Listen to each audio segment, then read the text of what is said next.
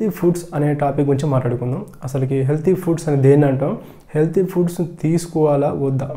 So మనం తీసుకునే foods నిజంగానే హెల్తీ ఉన్నాయా? సో అనే విషయాల గురించి మనం డిస్కస్ చేద్దాం. సో కొత్తగా అయితే ఎవరైతే మన ఛానల్ చూస్తారో వెంటనే వెళ్ళండి సబ్స్క్రైబ్ చేసుకోండి. అలాగే మన ఛానల్ మీకు నచ్చితే మన ఛానల్లో వీడియోస్ మీకు నచ్చితే మీ ఫ్రెండ్స్కి కావచ్చు మీ ఫ్యామిలీ మెంబర్స్కి షేర్ చేయండి. దా- దేన్ని అసలు పౌష్టికాహారం అంటాం? అంటే మన బాడీకి అవసరం ఉన్న ఫుడ్ని మనం పౌష్టికాహారం అంటాం. సో అసలు మన బాడీకి ఏం అవసరం ఉంది? అది ఇంపార్టెంట్. సో మనకు మనకు బయట చాలా దొరుకుతాయి ఫుడ్స్ బట్ మనకు అవసరం ఉన్న ఫుడ్ ఏది?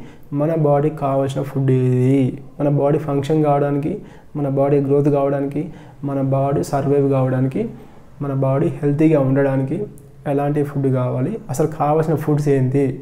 అనేది మనం డిస్కస్ చేద్దాం. ఫస్ట్ వచ్చేసి న్యూట్రిషన్ డెన్స్ ఫుడ్ అని చెప్తున్నాం. ఏంటి ఆ న్యూట్రిషన్ డెన్స్ ఫుడ్స్? అన్ని ఫుడ్స్లో ఉంటాయి బట్ కొన్ని ఫుడ్స్ అనేవి న్యూట్రిషన్ ఎక్కువ ఉంటుంది కొన్ని ఫుడ్స్ తక్కువ ఉంటుంది. అసలు ఆ న్యూట్రిషన్ డెన్స్ అంటే ఏంటిది? అంటే ఫస్ట్ వచ్చేసి విటమిన్స్. సో మనకు విటమిన్స్ అనేవి బాడీలో చాలా important.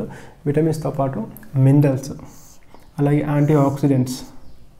Okay? So vitamins minerals మన బాడీలో బాడీ ప్రాపర్ ఫంక్షన్ చేయడానికి ఎలక్ట్రోలైట్ ఫంక్షన్ చేయడానికి ఎంజైమ్స్ తయారు కావడానికి సెక్సువల్ హార్మోన్స్ కావచ్చు వేరే హార్మోన్స్ తయారు కావడానికి బాడీలో కొత్త ఆర్గాన్స్ డెవలప్ కావడానికి మనకు విటమిన్స్ మినరల్స్ అనేవి చాలా అవసరం. సో మనకు విటమిన్స్ మినరల్స్ ఎక్కడి నుంచి వస్తాయి? ఒకటి వెజ్జెస్ నుంచి వస్తాయి. రెండోది మీట్ నుంచి వస్తాయి మనకు. బట్ పర్సంటేజ్ పర్సంటేజ్ డిఫరెంట్ తేడా ఉంటుంది. సో ఈ వీడియోలో నేను ఆ పర్సంటేజ్ గురించి అంత అమౌంట్ గురించి చెప్పట్లేదు. బట్ అవైలబిలిటీ మనకు అన్నింటిలో ఉంది. వెజిటేబుల్స్లో ఉంది మీట్లో ఉంది ఫిష్లో ఉంది ఎగ్స్లో ఉంది. ఓకే? ఈవెన్ కార్బోహైడ్రేట్స్లో కూడా ఉంటుంది. బట్ ఎక్కువ పర్సంటేజ్ మనకు విటమిన్స్ మినరల్స్ ఎక్కడి నుంచి వస్తాయంటే వెజిటేబుల్స్. సెకండ్ మనకు మీట్ నుంచి వస్తాయి. నెక్స్ట్ వచ్చేసి మన బాడీలకి ప్రోటీన్ అనేది చాలా అవసరం. ఎందుకంటే మన బాడీలో హండ్రెడ్ ట్రిలియన్ సెల్స్ ఉంటాయి. ఒక్కొక్క సెల్తోనే మన బాడీ అనేది తయారైంది. ఆర్గాన్స్ కావచ్చు బాడీ పార్ట్స్ కావచ్చు మొత్తం బాడీ అనేది ఒక సెల్ బేస్ చేసుకొని ఆ సెల్లో ఉన్న డిఎన్ఏ రిప్లికేట్తోని అన్ని సెల్స్ తయారయ్యి అలాంటి సెల్స్ ఒక హండ్రెడ్ ట్రిలియన్ సెల్స్తోని మన బాడీ తయారైంది. సో మనకు కొత్త సెల్ తయారు కావాలంటే మనకు లోపల డిఎన్ఏ ఆర్ఎన్ఏ మైటోకాండ్రియా రైబోజమ్స్ ఇవన్నీ తయారు కావాలంటే మనకేం కావాలి? ప్రోటీన్ కావాలి. అలాగే ప్రోటీన్తో పాటు ఫ్యాట్స్ కావాలి. ఎందుకంటే సెల్ మెంబ్రాన్ తయారు కావచ్చు.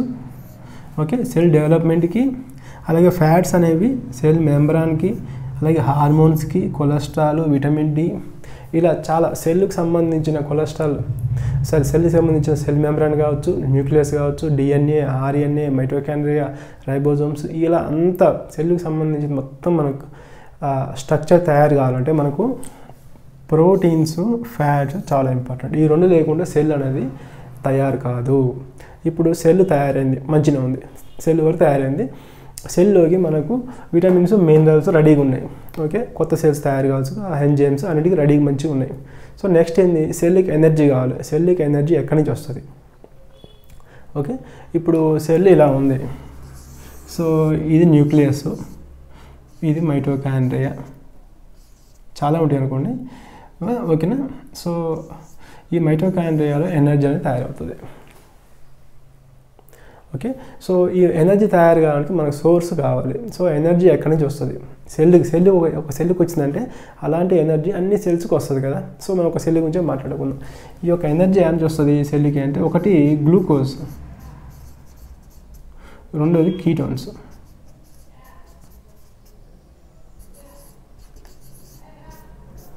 సో గ్లూకోజ్ కీటోన్ నుంచి మన మైటోకాండ్రియా అనేది ఎనర్జీ తయారు చేస్తుంది. గ్లూకోజ్ ఎక్కడి నుంచి వస్తాయంటే మీరు తీసుకునే రైసు చపాతి ఎనీ షుగర్ నుంచి గ్లూకోజ్ వస్తుంది. గ్లూకోజ్ అనేది బ్లడ్లోకి వచ్చిన తర్వాత బ్లడ్ అనేది అన్ని సెల్స్కి ట్రాన్స్ఫర్ చేస్తుంది ఈ గ్లూకోజ్ని. సో గ్లూకోజ్ అనేది సెల్కి వస్తుంది.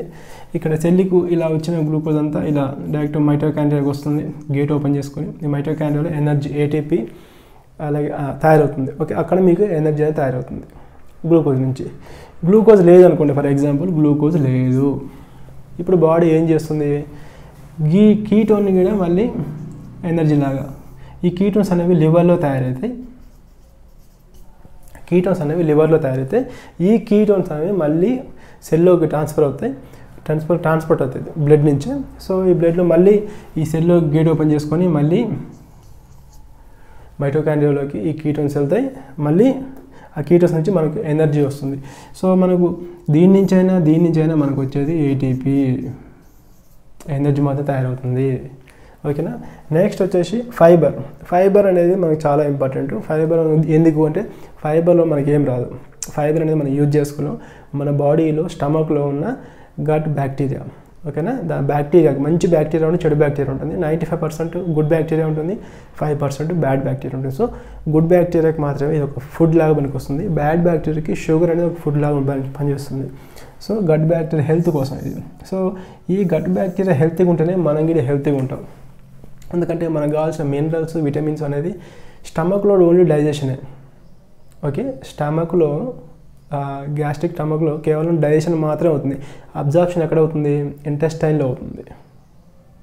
ఓకే ఇంటెస్టైన్ మొత్తంలో అబ్జర్వేషన్ ఎలా అవుతుంది? ఈ బ్యాక్టీరియా దాన్ని ఇంకా చిన్న చిన్నగా దాన్ని ఇంకా, చేసేసి దాంట్లో ఉన్న మినరల్స్ కానీ దాంట్లో ఉన్న విటమిన్స్ కానీ అన్నీ అబ్జార్బ్ చేసుకుంటుంది. సో స్టమక్లో పిహెచ్లో తక్కువ ఉంటుంది కాబట్టి అక్కడ అన్నీ డిస్ట్రాయ్ అయిపోతాయి. సో కేవలం ఆ డైజెషన్ మాత్రం అవుతుంది. అబ్జార్బ్షన్ అంతా ఇంటెస్టోన్లో అవుతుంది. సో ఆ బ్యాక్టీరియా మొత్తం అన్నిటిని అబ్జార్బ్ చేసుకుంటుంది. సో బ్యాక్టీరియా లేకుండా మనం వాటిని అబ్జార్బ్ చేసుకోం. అందుకే మనకు గుడ్ బ్యాక్టీరియా చాలా ఇంపార్టెంట్.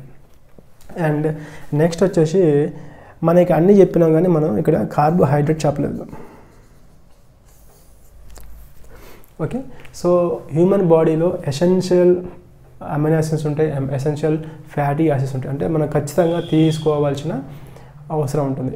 కొన్ని అయితే మన బాడీ తయారు చేసుకుంటుంది కొన్ని మనం ఖచ్చితంగా ఒక సెవెన్ ఎయిట్ అయితే రిమైనింగ్ ఖచ్చితంగా అమైనో యాసిడ్స్ బయటని తీసుకోవాల్సింది. Even fatty acid omega six omega three అనేది మనం ఖచ్చితంగా బయట నుంచి తీసుకోవాలి. సో మన బాడీ తయారు చేయలేదు.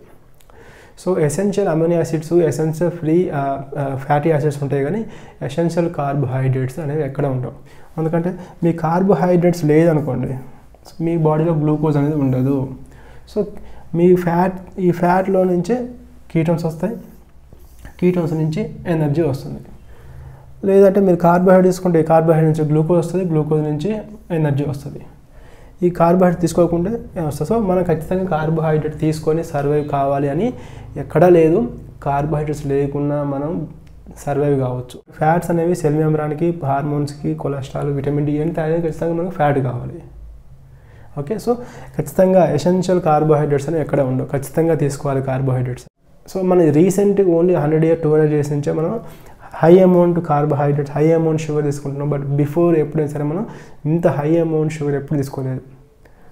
Okay even ten thousand years back వెళ్ళినా ఒక వన్ ల్యాక్ ఇయర్స్ బ్యాక్ వెళ్ళినా ఈవెన్ ఒక థౌసండ్ ఇయర్స్ బ్యాక్ వెళ్ళినా ఇంత హై అమౌంట్ షుగర్స్ ఎప్పుడు తీసుకోలేదు. ఈవెన్ మీరు తినకున్నా కానీ మీ బాడీ డైలీ కార్బోహైడ్రేట్స్ తయారు చేస్తుంది. అది ఎలాగో మనం ప్రీవియస్ ఒక వీడియో చేస్తాం కాబట్టి వెళ్ళి చూడండి. మన బాడీ గ్లూకోజ్ ఎలా తయారు చేస్తుందని. సో మన ఛానల్లో చాలా వీడియోస్ చాలా ఇన్ఫర్మేషన్ షేర్ చేసాం. కొత్త వాళ్ళు ఎవరైనా ఉంటే వెళ్ళండి చెక్ చేయండి. మీకు ఇంట్రెస్ట్గా అనిపిస్తే మీ ఫ్రెండ్స్కి షేర్ చేయండి. Okay? Thank you for watching.